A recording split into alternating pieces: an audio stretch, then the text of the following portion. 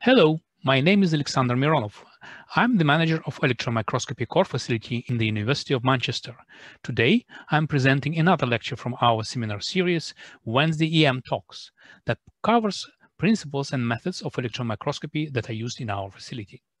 Today's topic is correlative light electron microscopy at ease to record this section. I, I, forgot to put it on record, but now it's fine. So what, what we're talking about uh, correlative electron microscopy, and we have a, a load of information already published.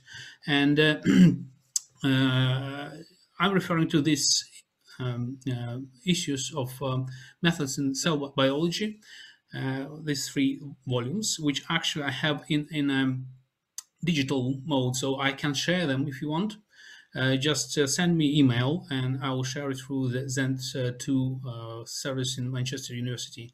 And also, uh, this several, volume, several volumes, they are related to the EMBL courses. And these courses are really, really nice. And I've been on, on, on one uh, of them in 2019 about uh, exactly correlative light electron microscopy. And of course, I'll share my experience later on.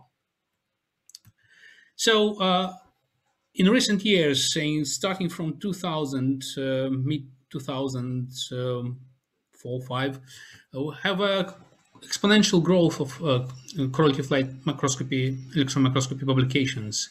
And uh, uh, as you see, if you just search PubMed, uh, you will get, I think nowadays, much more than 1900 publications.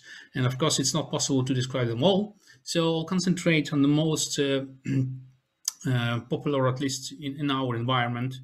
And that will be uh, based on papers by um, uh, and Mironov and uh, Wanda Kukulski and uh, um, from the Briggs Lab.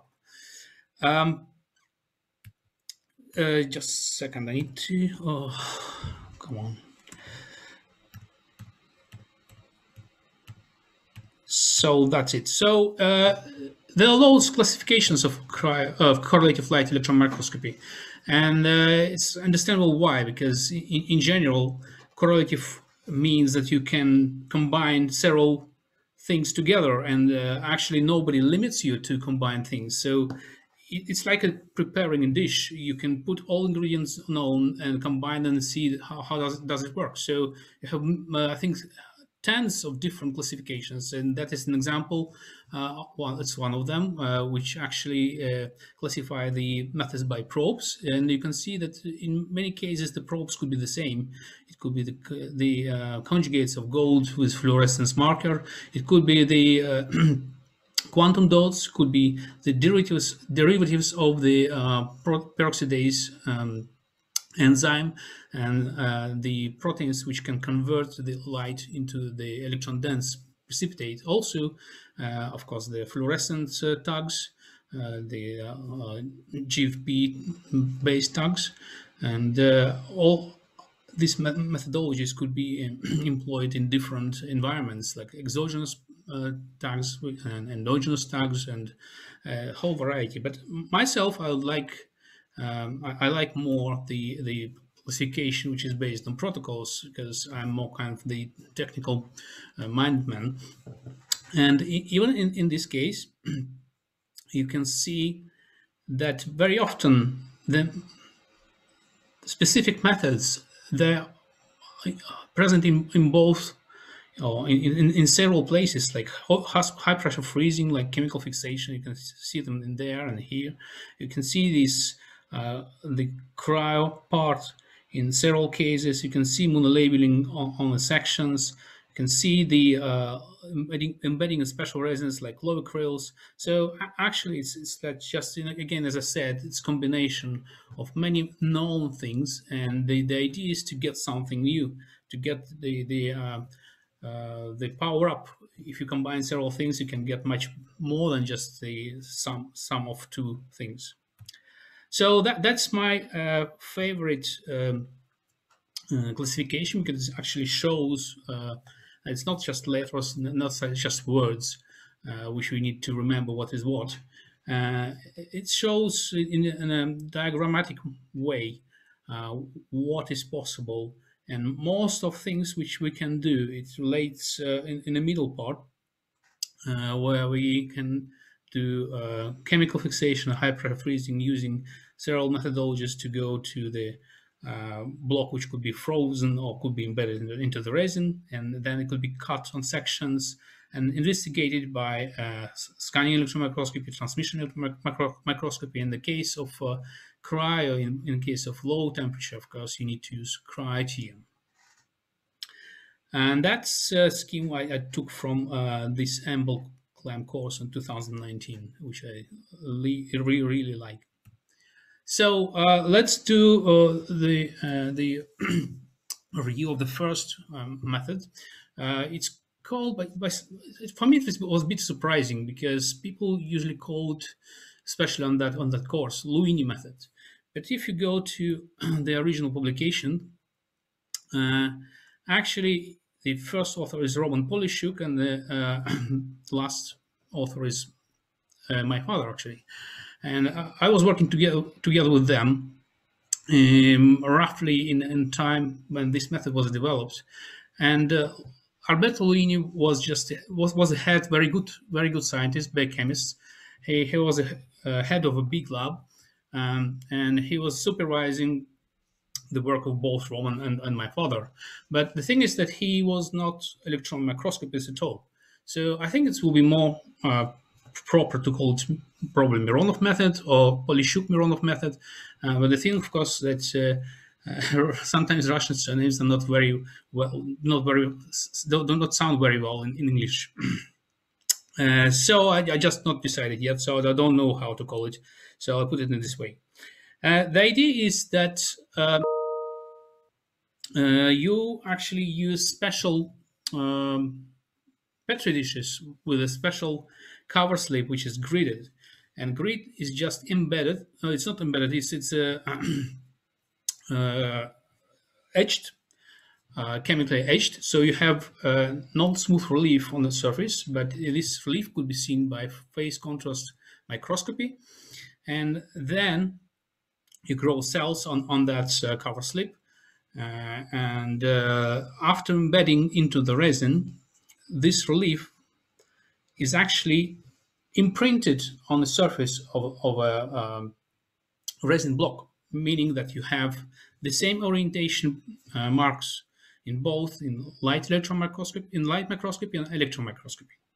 So if you have this grid on your dish and you identify a cell with some marker like GFP or any fluorescent marker, then you can detect it, uh, I mean, in XY direction at least, and it would be beneficial if you can do it in Z positions as well using phase contrast. And uh, on that image, you can see that there is there is a grid uh, could could be visible with a certain illumination.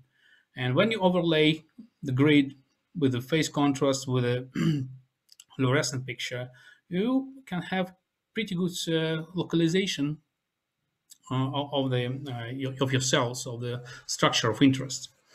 And uh, the next diagram uh, shows the, the full uh, sequence of events. It seems a bit complicated, um, but actually it could be quite simple to explain because this part you already know. You have the cover slip with the grid where the cells are growing. And of course, this cell should have some marker, which is visible in uh, light electron, in light um, microscopy environment. It could be uh, fluorescent proteins. It could be the markers with antibodies. It could be anything which emits lights.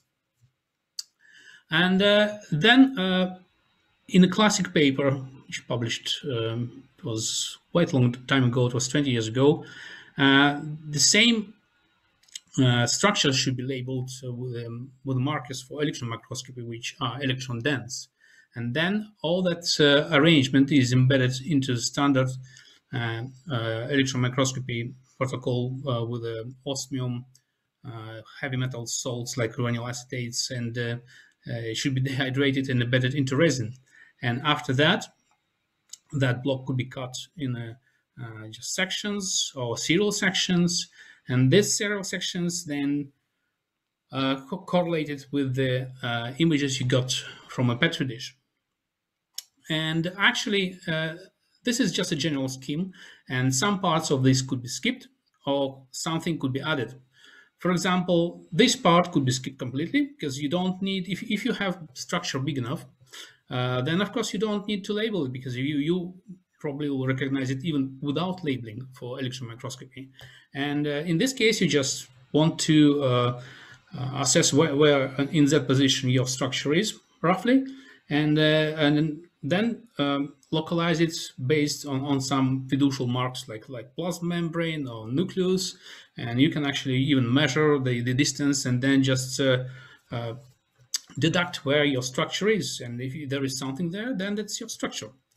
And also, um, of course, it relates mostly for, for big big things. Uh, you, you can't find uh, small vesicles, for example, in this, with this methodology because they this will be too much of uncertainty. And uh, that part as well could be modified because you have sections and sections could be labeled depending on the grids, depending on, on your sample, depending on the uh, antibodies and markers. Uh, so I'll, I'll, touch a bit uh, about additional labeling. Next slide. Okay, come on. Yes.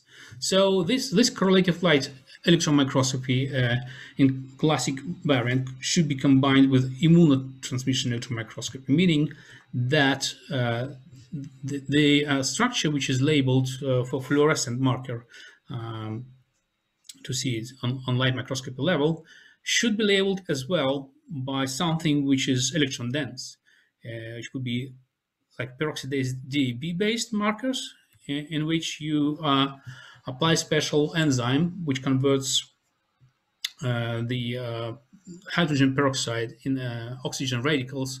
And then this oxygen radicals makes the diaminobenzidine uh, in a uh, polymer structure which uh, attracts a lot of osmium and becomes dark like in this in these images. And you can see this is the labeling for collagen in, in, in a Golgi stack. Or you can apply very small gold and then try to make it bigger. Why small?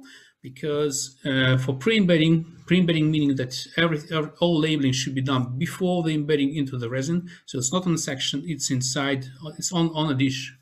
And for that, to, to, to be able to penetrate the surface of the cell, of course, you need to permeabilize it. And you can't make this permeabilization too much um, because um, then you destroy ultrastructure. So there's always a trade-off. And if you want to make ultrastructure still good, uh, you need to have these holes are very small. And for that, uh, meaning that this is this means that uh, the gold particles they just can't go inside, meaning that you need to have small gold. But small gold you can't see on the electron microscope because you have um, uh, the the gold itself will mix will be masked by the background of the cell, meaning that you putting small gold inside, like here, like 1.4 nanometer, and then you enhance its, uh, its, its special terms when you put some chemicals, and then it increases the the it precipitates the metals on the surface of these particles and make them bigger. Uh, the problem, of course, that sometimes you have a lot of background depending on your sample, depending on your regions, and so on. Uh, post-embedding things, in post-embedding methodologies, you put your markers directly on the sections. So after the sample is embedded and cut with very thin sections of 70 nanometers, uh, you just label the uh, sections themselves with antibodies. Uh, these antibodies should be, of course, conjugated with some marker. It could be, uh, it should be something electron dense, of course. Like the best thing is gold particles. And then you get, of course, the um, a quantifiable label uh, but uh, all that methodologies, they're not uh, without some problems. As you can see, these markers, these, these um, regions which we use for uh, labeling uh, proteins and uh, other um, molecules on the surface or sections, they're quite big. immunoglobulin G and five fragments of the globulins. they're quite quite long ones, so it's like 10 nanometer long length. And uh, the markers, uh, which are electron dense, like 10 nanometer golds, they, they have this size. This, it's quite a big size. And if you conjugate uh, it's to the um, to the immunoglobulin G, uh, then of course you have a size of 20 nanometers already. and it's quite thing. It's a quite big thing, and if you can see that. Uh, if, you, if even if you label, if you don't need, don't have a problems with the permeabilization of cells for pre-embedding, even with the post-embedding um, uh, methods, you, you you have a, a, lot of a lot of problems, and that because most of because of these problems, most of antibodies which are working for uh, light microscopy pretty well, they very often, I think, I would estimate like probably 70% of them do not work well for electron microscopy. And that because of uh, first, if you can see that all sections, even ultra thin sections, they have a thickness. And uh, even cryo sections, with cryo sections, the problem is that the gold particles uh, of, um, saying, five nanometers, uh, maybe even as small as two nanometers, they, they can't penetrate inside. So even if your antibody can go inside detect antigen, detect, detect antigen, the, the gold itself will not go inside. So it will stay on the surface and maybe washed away. Uh, meaning that actually uh, you, you're labeling only the two-dimensional surface of a section. And uh, if you can imagine, as, as, I said, that the 50 nanometer of, of sections can contain, uh, in, in this example, for example, around 10 uh, or uh, 11 antigens, and, and only one is exposed, exposed on the surface meaning that if you label with it with antibody, then uh, you'll have a very low signal. Even if you have a lot of antigen, you don't have enough signal. And uh, what the solution of that problem with the correlative light electron microscopy is possible, you just do not use electron microscopy probes. And how, how you do that? Because of course you can see fluorescence at uh, electron microscopy level, because uh, there are no detectors. You're using electrons, not photons. Um, it's quite easy, relatively. that uh, actually what you do, you try to take the picture of the same uh, the same section, both in light and electron um, microscopy level, uh, and th this the, the main trick is to prepare your sample in a way that even in the section you still have fluorescence. And after that, you can combine these two images, and in the end, you'll get location of protein of interest. You can you can uh, deduct it uh, by the uh, registration of two images using the special um, fiducial markers that uh, I will talk about a bit later. And that is the publication uh, from 2011, which actually opened up summarized the all, all the uh, methodology itself uh, to allow people to repeat it. And it was used quite a lot all over the world already. And it's the standard methodology in EMBL uh, lab for uh, electron microscopy. So the uh, on section correlative EM flow workflow and this consists of several steps, and I'll touch them in um, a bit later, but that, this is just an overview. So the first, uh, uh, the, the requirement to preserve fluorescent protein like GFP in a, in a condition that it can emit, emit uh, uh, the signal still in the resin is to fix it in a special way, so-called high pressure freezing. Um, then uh, this sample usually uh, freeze substituted. I, will talk about it later as well. And in, in the end, you'll get the block of the tissue, which is still fluorescent, and you can cut this tissue in very thin sections. And that sections will be examined, can be examined both in light microscopy, getting images, you can get stacks of images, and of course, in a transmission electron microscope, where depending on the thickness of a section, you can have just flat sections like, like two-dimensional pictures, or you can, if you have thick sections, you can even uh, acquire tomograms. So uh, let's talk about the first first step here, the, the, the fluorescence, um, the, the preservation of fluorescence. For the preservation of fluorescence, you'll need high pressure freezing fixation. Uh, just to uh, remind you uh, from my previous lecture, I already was talking about freezing uh, as a method of fixation. And in standard freezing, as you can see, water molecules form hexagonal uh, crystal structure. And that hexagonal crystal structure actually destroys a lot of biological uh, material inside the cell. It breaks membranes, it, dispose, it displays proteins, dispose uh, a lot of things uh, from their places. And that is an example uh, where the chromatin uh, shows some segregation pattern and if you keep it in the frozen condition, it will show that there is crystalline ice. And that's not good. We don't want crystalline ice. Uh, the, the way to get around this is to stop the molecules to move around and uh, prevent them to moving to, to the nodes of this crystal structure. And that could be done by high pressure freezing when the very high pressure is applied first, and then there is a very sharp drop of uh, temperature. And in this case, uh, molecules of water, they just do not have time to move to the nodes of crystal, uh, hexagonal crystal of ice. This way, water preserves its uh, amorphous nature and forms amorphous ice. You have all the um, uh, most of biological structures preserved in their native condition, and after uh, uh, visualization, you can see the chromatin looks much better. It doesn't have any segregation artifacts. And if you put it in frozen conditions, still in, in a uh, cold cryo microscope environment, then you don't, don't see any crystal uh, structures with, with a diffraction. So, uh, freeze substitution. If you just freeze your cell with amorph uh, to, to form the amorphous ice, of course, you can go to the uh, way of uh, cryo correlative light electron microscopy. It's quite complicated. We don't have this methodology working yet. So I will not touch it for in my in my talk.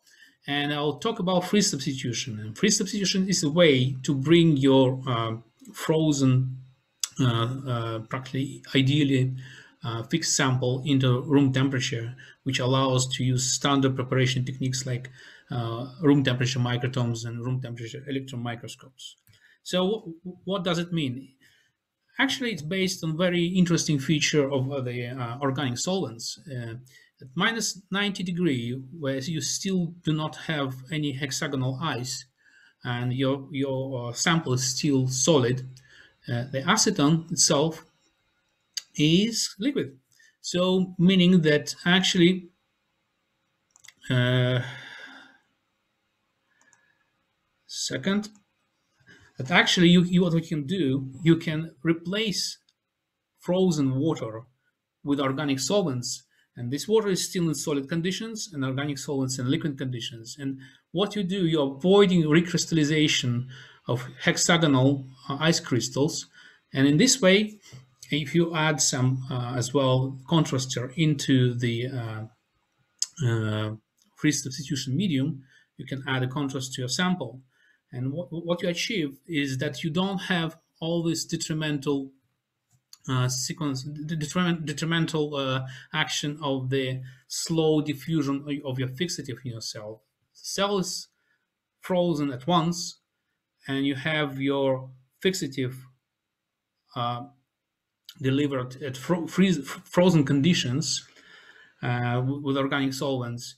And by this way as well, uh, if you keep your uh, contrasting uh, agents very, very low concentration, you can preserve even fluorescence. Of course, you can't use high concentrations of these heavy metals, but low concentration, concentrations of uranyl acetate, which produce quite nice ultrastructure, visible contrast, uh, they can it can preserve the fluorescence. Of course, if you have a lot of uh, uranyl acetate, you'll have better structure but less fluorescence, and vice versa. So you need to be very careful about that. And small concentration, that 0.1%, gives you kind of the optimal both worlds of uh, fluorescence proteins, uh, fluorescent preservation, and of course the preservation, the visibility and preservation of ultrastructure. So the next step, uh, of course, is to how to combine the, the light electron, the light uh, picture and the electron microscopy picture, and that is uh, called registration. When the same structures are put in, into the register, so from both ways, from both methods, they are the same. And uh, for that, uh, the most common uh, thing which especially uh, used in EMBL and, and uh, used in the procedure of Wanda Kukulski, are the fluorescent dots. Fluorescent dots which are uh, which can have several fluorescent markers at once and as well they're visible in electron microscopy image. So in, in here you can see a uh, fluorescent picture with uh, several dots uh, which are quite bright. And if you look carefully these dots are visible uh, in electron microscopy picture as well and the arrangement is quite the same so in, in, this case, you need to just rotate images. And probably you can wrap them or, or, a bit distort them to, to fit the best mathematical model possible. And after that, when you have these independent markers all aligned, you can align as well the um, and, uh, your fluorescent marker of interest and see what exactly it's labeling. And that is the image from uh, the software from our new Talos microscope. And uh, we're still working to make it uh, optimal. Uh, it's not it's not in um, because we've just been trained recently and uh, with all these uh, problems with COVID, we, we can't allow a lot of time to, to, to be to, to develop this to, to the working algorithm yet, but we're working on that and I think it's possible in the future uh, to uh, employ this methodology uh, with, a, I think, good success. Uh, also, if even if this uh, uh, procedure, if, if, this software will not work well, there is there are other options. there are special free software called Icy and the, with a with, with a correlative plugin developed by Perrine. And uh, that was published 2017 and we were taught how to use this in, in a in a uh, our EMBL course for correlative light microscopy. And the beauty of it it has much more instruments to uh, to register in proper way with proper models two uh, sorts of images.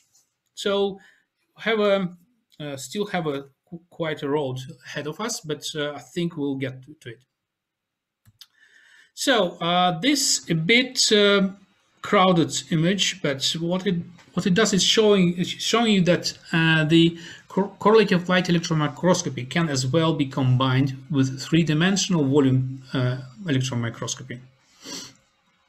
So uh, in there you can see there is a, um, a, diagram of tomography. So tomography it can be used with a uh, serial tomography could be used with a correlative light electron microscopy. Also, serial block face imaging uh, is called 3View. If you have correct registration, uh, another possibility is to have the um, array tomography, so the, where the sections are lying on, on the silicon wafers and they can be imaged with any way you do. You can image them with the fluorescence uh, microscopy, you can image with the scanning electron microscopy. So it, it's up uh, to, to what, what do you want, what, what information do you want to extract. And that diagram, uh, I think, was explained in uh, the previous lecture from David about three-dimensional microscopy itself. So now I have a quite interesting uh, movie from the uh, uh, EMBL course. I think I'll just start it and you will enjoy because it actually explains uh, peculiarities and uh, it show, just shows you what is involved.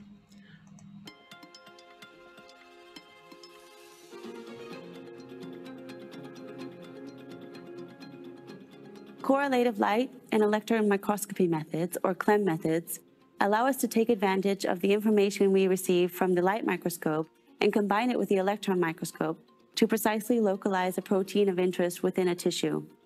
Here we're going to take you step by step through an on-section CLEM technique that has been developed in the labs of John Briggs and Marco Kaksonen. This method combines the good ultrastructural preservation given by high-pressure freezing and free substitution and allows us to preserve the fluorescence in a methacrylate resin. The advantage is, is that we can do the light microscopy on a thin section that has been placed on an electron microscopy grid. This gives us a very good resolution in Z and allows us to go directly from the light microscope to the electron microscope to do the imaging. This method has proven to work very well on several biological models, ranging from cultured cells to tissues. The limitations being the size of the specimen for good effective freezing, but also the level of the initial fluorescence signal. So depending on the sample you're working with, some steps may have to be adapted. In this example, uh, sorry. example, we are using a monolayer of HeLa cells expressing a GFP tagged protein that is found in the Golgi apparatus. In preparation for high pressure freezing, we grow the cells on a 3 millimeter sapphire disc that has been coated with a 10 nanometer layer of carbon. High pressure freezing is performed with small metal carriers where one side has a 300 micron well and the other side is flat. The carriers are first put into a petri dish on a piece of filter paper coated with hexadecene. First, we place one carrier with the flat side facing up into the high pressure freezing holder.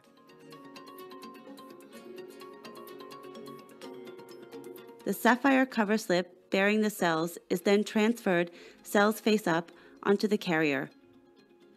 It is important at this stage that no air bubbles are introduced.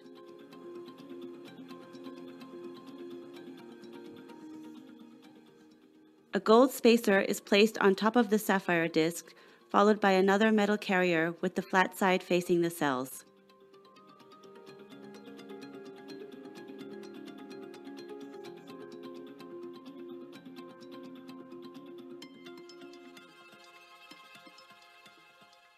The sandwich is finally tightly secured within the high pressure freezing holder and placed into the high pressure freezing machine for freezing.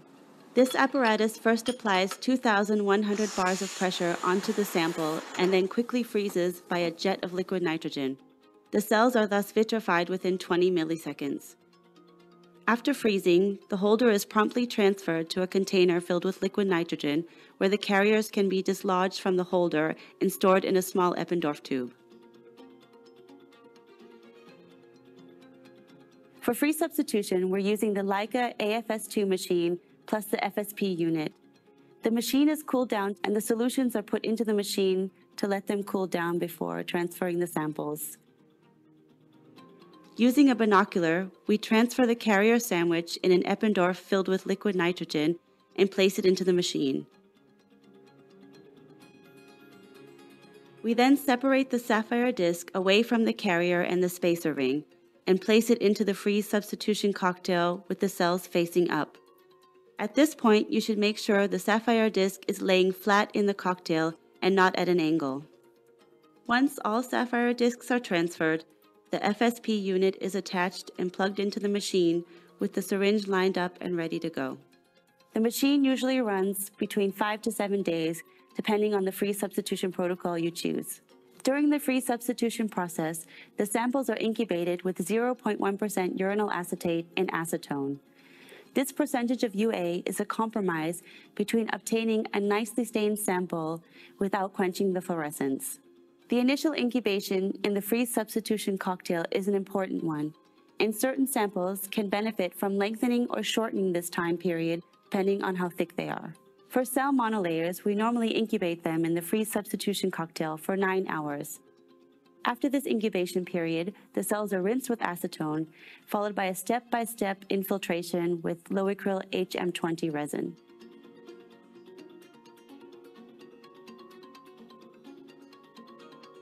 Once the blocks are polymerized, the holder is taken out and the blocks are removed and can be stored for months at room temperature in the dark until they are ready to be used. For the sectioning, we are using an ultramicrotome and sectioning with an ultra 35 degree diamond knife. You can choose which thickness to section depending on your electron microscopy imaging strategy. For 2D imaging, we cut 70 nanometer thick sections, and for 3D electron tomography, 300 nanometers. Sections are retrieved on a 200 mesh carbon coated copper grid. We like these grids particularly because they are stable and have an asymmetric mark in the center that can be used as a reference in the microscope, and the likelihood of the structures of interest lying on the grid bar is minimal. Once collected, the grids are transferred to a box where they can be protected from light. The fluorescent signal is very sensitive and grids must be imaged within the same day to avoid bleaching. To perform the correlation, we use beads that can be seen both in the light microscope and the electron microscope. These are commercially available beads that are electron dense and fluorescent and can be used for this purpose. Here we use TetraSpecks that can be seen in the blue, green, red, and far red channels. These TetraSpecks can be bought in different sizes, but for this application, it's important to choose the smallest ones in order to increase the precision of the correlation. Here we incubate the grid with the sections facing down on a 10 microliter drop of TetraSpeck solution in PBS. The concentration of the bead solution is determined empirically prior to the experiment. As we will see later, we will aim for a dense enough distribution to detect dozens of beads on a single field of view at the electron microscope. After 5 minutes incubation, the fiducial beads are rinsed with distilled water.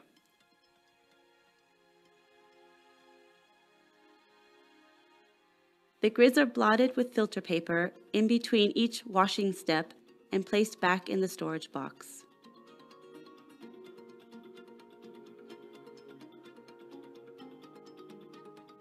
For imaging in the light microscope, we sandwich the grid between two glass cover slips so the grid is flat and as close to the objective lens as possible.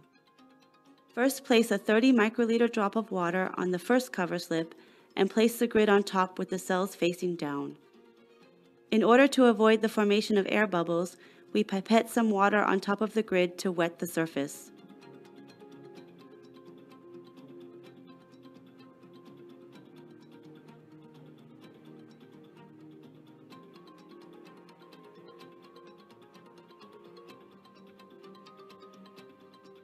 We then put a thin layer of vacuum grease around the edge of the second cover slip and carefully place it on top of the grid. Close the sandwich, pressing very gently around the edges to spread the water.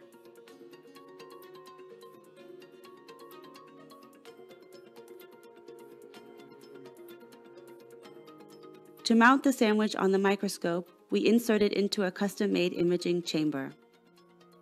For the light microscopy, we typically use a wide-field fluorescence microscope. For imaging, we put the imaging chamber onto the microscope stand. Using the 20x objective in the bright field mode, we retrieve the center of the grid, which contains the asymmetric mark for orientation. Switching to the channel of interest, we acquire an image with a very low excitation intensity and exposure in order to localize the cells of interest without bleaching out the signal. Next, we save the position of the cell and change the objective to one with a higher magnification.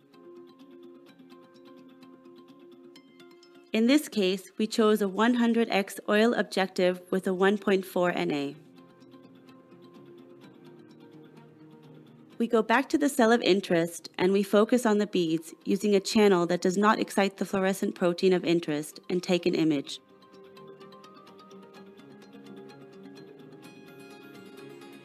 We then switch to the channel of the fluorescent protein of interest and take the image. To remove the grid from the cover slip sandwich, unscrew the chamber and open the two cover slips using a sharp scalpel. The grid, sections, and carbon film tend to stick to the surface of the cover slip, so it's important to treat it gently and remove it without damaging it. Place a drop of water onto the grid and carefully pipette up and down until the grid releases from the surface. Take the grid and blot off the excess liquid with a filter paper.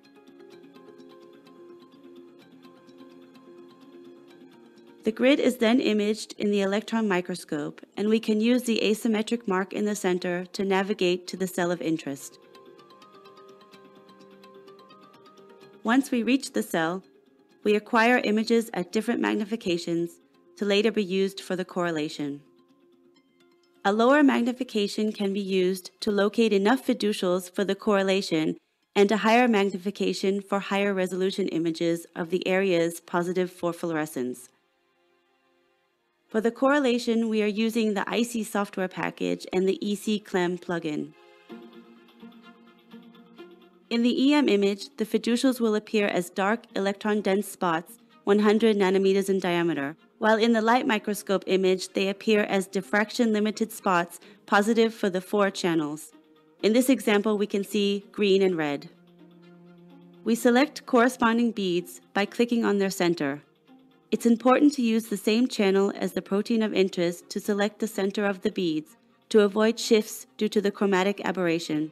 After localizing three beads in both imaging modalities, the software is able to calculate the transformation. However, the more beads you click, the more precise the correlation will be. The software applies a similarity transformation that scales, rotates, and translates the fluorescent image to make it fit to the EM image. This results in a final image overlay where we can zoom in and appreciate which structures underlie the fluorescent signal. In this case, we see a clear representation of the Golgi apparatus. So that's, that's finished. Uh, I think you enjoyed it. And uh, I, I know all these people and they're really nice and they're so helping and this uh, advise so much to me. And uh, I highly recommend all the the courses you can attend in, in EMBL because it's a it's just marvelous place. So uh, uh, the last thing, uh, I need just to go to the second to the last slide. This is just amazing development. I, I like it very much. What, what it does, it allows you to make high throughput ultrastructure screening of multiple samples in one go. Actually, if, if you're developing something like, especially in this case with yeast, you can have a lot of phenotypes uh, tens, even hundreds. And of course, if you try to, uh, uh, to, to process them separately for EM, it will be an enormous task. Uh, but these guys, uh, Yuri Bykov and Wanda and um, uh, of course and John Briggs, developed a way of color color barcoding. Sorry, what they do, they actually apply special dyes in different combinations for different strains of yeast and process process everything in one go. So in one section, in one sample, you have tens of different combinations and you can have tens of different strains. And due to this uh, marvelous uh, methodology of CLEM, you actually can detect them precisely. And with the software on microscope, could be Icy or could be the MAPS software, you actually can mark the areas like here to automated uh, acquisition of images. So you correlate to image to low magnifications images from electron microscopy and light electron uh, light microscopy. Mark the zones for acquisition. Go home, and in the morning you have hundreds, thousands of images of your strains uh, done in automatic mode. I think that is amazing and that is the example how uh, from a real real case. So i think uh, that's ends my lecture and my presentation. And i'm happy to answer any questions if you have. So uh, it should be in chat. In chat i don't have anything yet. Uh, so um, just waiting like two three minutes if somebody have any questions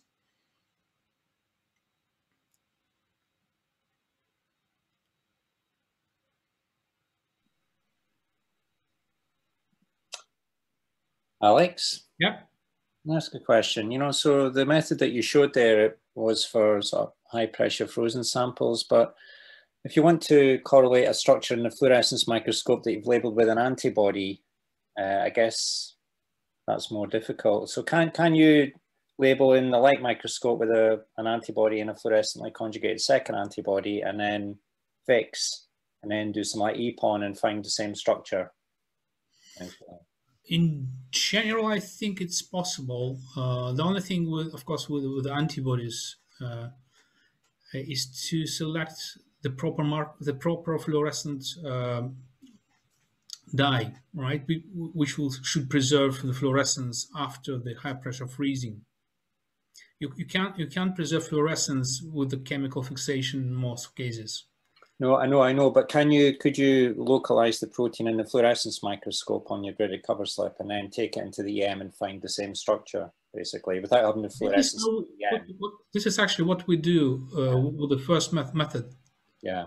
So uh, the first method is mostly relates to chemical, chemically fixed material. So if you can, if you can preserve antigenicity of your sample with a mild chemical fixation and label them with antibody. And then you have location using this grid, you know, the grid on, on the cover slip. And of course, you, you, you can locate the same thing uh, after embedding. Uh, the only thing to aware is, of course, uh, that uh, if you label it with antibodies, you need to perforate membrane, meaning that the, the ultrastructure will be not optimal. Yeah, right. Mm -hmm. Yeah, so you lose a bit of the structural integrity. Yeah, this is a trade-off. Uh, you, yeah. you can't avoid it, unfortunately. Yeah. Okay, uh, the question from Carlin. Uh, pre presumably, you could stain a cell using DAB when embedded in resin and examined in EM. In the EM, in fact, I have done this. Well, yeah, that that's the thing. With actually, this is was the uh, the classical method, which was published by, Roman and uh, my father, because they use uh, DAB uh, reaction with with uh, antibodies conjugated with phosphorylated peroxidase. Nowadays, it's a bit more versatile because actually you can use so-called APEX, the ascorbate peroxidase, uh, which is quite small, could be conjugated, could be expressed uh, with this protein, which could conjugate with the protein of interest and expressed in a, in a transfected cells. And uh, then you just add uh, uh, hydrogen peroxide, DAB, and voila, you don't need even to perforate cell. So this is one of methodologies which is very promising, but it depends very much on how successful your transfection will be and uh, uh, will this label, if, if you um, uh, transfect it, would uh, change the behavior of protein. If you're talking about antibodies, uh, that's a bit more complicated because um, you know, it's not a lot of antibodies uh, nowadays, at least, uh, conjugated with host phosphorylated peroxidase, which are working well for EM. Uh, in my early days, there was one company in France which produced perfect antibodies, but it, it went bust.